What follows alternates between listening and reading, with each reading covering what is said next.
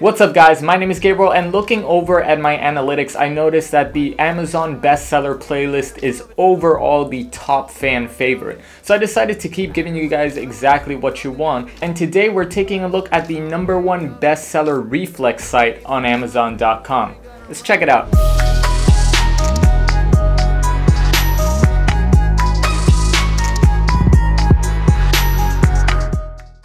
So as you guys may or may not know from my videos, I actually have a reflex sight as my main optic at the moment, but it is not a Feyachi branded sight. So it seemed to be pretty similar, but not exactly the same. So I'm pretty curious to see what are the differences. This sight I actually got off of like AliExpress and it took me like an eternity and a half to get here. Maybe they're different or who knows. I, I really don't know. So on Amazon, this is retailing for around 30 some dollars. I don't remember if it was like 32, 36, something along those lines which is really, really cheap. So Feyachi is very well known for their affordable attachments, be it a grip, an optic, a flashlight, things like that, that are super budget friendly in comparison to other attachments out there. It came in this black box with a little rubber band around it. First thing you see is a little microfiber cloth, which is good to clean your lenses and all that just in case it's got dirt. It comes with a little manual right here. It's really cool because it has instructions on zeroing, which is really, really nice. A lot of people don't know how to sight their optics and they just play with unsighted optics, which is completely a mistake. Always sight your gun. So here we have the sight in a little baggie, but aside from that, we have two spare batteries. Actually, it might not have one inside, so maybe it's one spare battery. And it also has two different uh, Allen keys. Let's take a look at the actual sight. It looks remarkably the same as my other one. The only difference is like the lettering. Let me just take off that side. As you guys can see, it has different colored numbers here on the top. Now, the reason that it is red and green is because this optic can change between a red dot and a green dot. And each of those numbers is a brightness setting. So if you're indoors, you don't really want to blast it because it could blind your vision.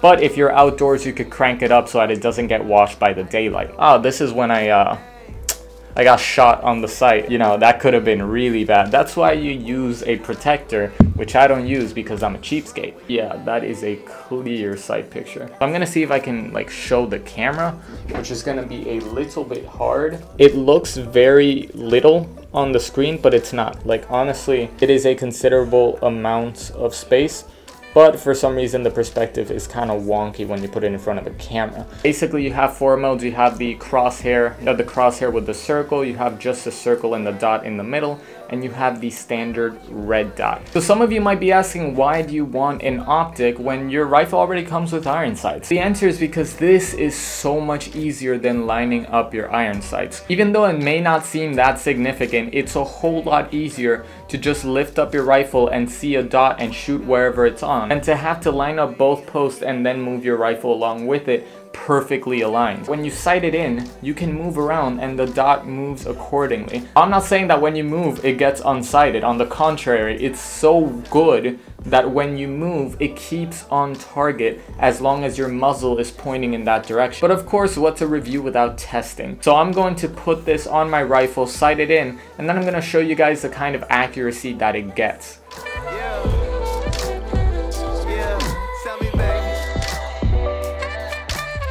So let's see if this red dot sight actually stands up to the challenge.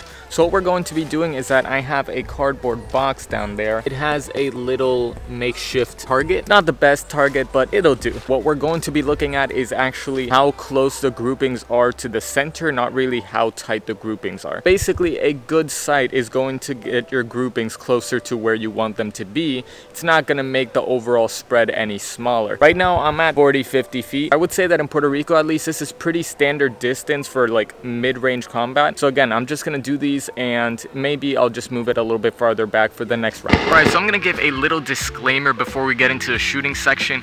I messed up. My standard BB weight is 0.28 grams and I had some extra BBs and I forgot that they're 0.25 so that means that my hop up was a little bit too high and I didn't notice until later. So I'm just telling you guys this so you can keep it in mind for the first rounds but after that I actually adjust it and you're gonna see exactly what this sight has to offer. And I think you're gonna want to stick around for that. So no more interruptions get to the video. I'm using my EMG Sharps Bros jack. I've switched out the optic for the new Feyachi sight. I'm gonna be using the red dot option instead of any of the bigger optics to try and get as precise as I can. I'm going to be shooting at the rings in the target over there and we'll see how close the grouping is to the actual target. Now as time progresses, we'll see if the grouping stays in the same spot or if the grouping starts moving, which is an indication that the sight is just not stable. Now again, I sighted this myself, so there is a human factor where I could have sighted it in a little bit off. If the groupings are super consistent, just slightly to the right throughout the whole thing, then we just know that I was a little bit off. Now again, as always, safety first, always wear your glasses, and let's get shooting. All right, so I'm gonna shoot 10 rounds. Oops, I just smacked the sight. Alright, so 10 rounds, I'm going to be aiming dead center, and now we'll see how well my sighting went. Safety off, let's shoot.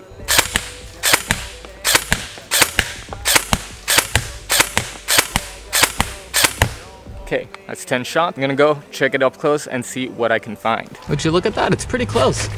Like up here, that's all of the shots. So it's right here, just slightly above the bullseye section and if I were to center it out it's probably up here. Alright so the aim was not that far off. I think I might have sighted it a little bit too low because all of the shots are just ever so slightly above the bullseye. I'd say about an inch or something but the grouping stayed consistent in that same spot, which means that shot to shot, it did not move the sight at all. Another factor is that I'm also doing this while standing with no support, so there also might be a little bit of swaying on my end, but it is pretty dang close to the center. So what I'm gonna do is I'm gonna move the target a little bit further back and then take some other shots. All right, so I'd say that I moved it back around another 15 feet. You can see it over there.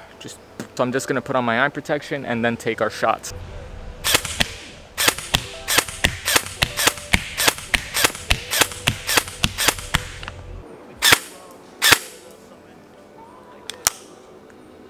I'm pretty sure that the reason that those shots went up so high is because my BB weight changed. I usually use 0.28 and I had another bottle laying around and I thought they were 0.28s, but no, they're 0.25s. So I adjusted my hop up, so I think that now it's going to be a lot closer to the center. So all I did was adjusted my hop up. I did not adjust the sight at all.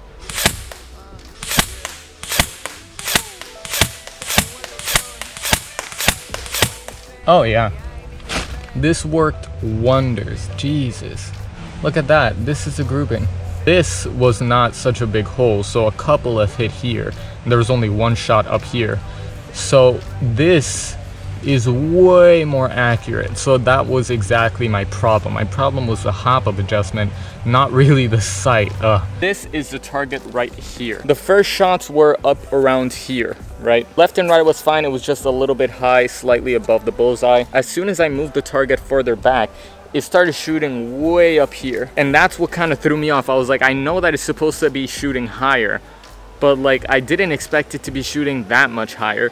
And once I checked my BB weight, I noticed that I was using 0.25s. So I adjusted my hop up and shot 10 more rounds, and then all of them were around here, which is crazy. All of the shots landed in this circle, which is absolutely insane. And that lets you know that that little uppity bit that I had, that was in the sight. That was actually the hop up. So this goes to show that close up or farther away, it works exactly how it's supposed to. As you guys saw, the sight worked perfect. I had a couple hiccups and I thought that maybe it was my fault or something was happening, but I was looking at the wrong direction. I thought that I was just the distance I sighted it in and it was actually the hop up because of the BB weight. So as you guys saw, it is really accurate. I had no problems with it. It has a lot of possibility for customization with the different reticles and colors and brightnesses for 30 some dollars. I had the other side, which is exactly the same and it's been my main sight for months. So I can tell you in experience, it is worth the money. And I can tell you that as soon as I got a red dot, it made my life a whole lot easier. So that's all for today's video. I really hope you guys enjoyed it. Leave down in the comments below suggestions on what you want to see next so I can add it to my videos and give you exactly what you're looking for.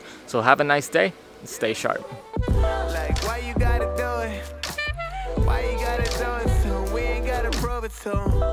know we going through it. Lighter with the flow, so know that I've been moving through. Long way coming.